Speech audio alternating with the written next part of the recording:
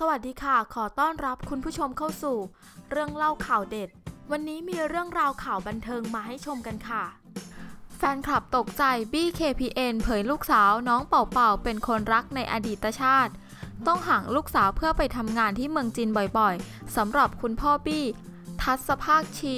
หรือบี้ KPN ที่ปล่อยให้คุณแม่กุ๊บกิ๊บสุมนทิพย์ชี อยู่กับลูกสาวน้องเป่าเป่าพอลลิน่า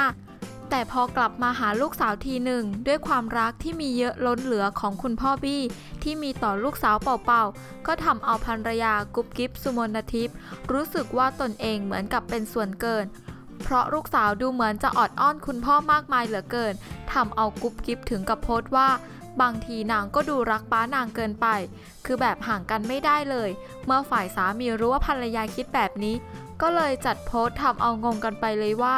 เขาบอกว่าลูกสาวเป็นคนรักของพ่อชาติที่แล้ว ผมเชื่ออย่างนั้นครับ โอ้โห คุณพ่อบี้เล่นใหญ่แนวไม่เชื่ออย่าลบหลู่เลยเลยเนี่ย อันเป็นว่าใครเชื่อก็เชื่อนะคะ เป็นความเชื่อส่วนบุคคลจริง ๆ ค่ะ ขอขอบคุณข้อมูลดีๆ จากที่นี่ .com อย่าลืมกดติดตาม พร้อมทั้งกดรูปกระดิ่ง เพื่อแจ้งเตือนเรื่องใหม่ ๆ จะได้ไม่พลาดรายการเรื่องเล่าข่าวเด็ด ขอบคุณที่รับชม แล้วเจอกันใหม่ค่ะ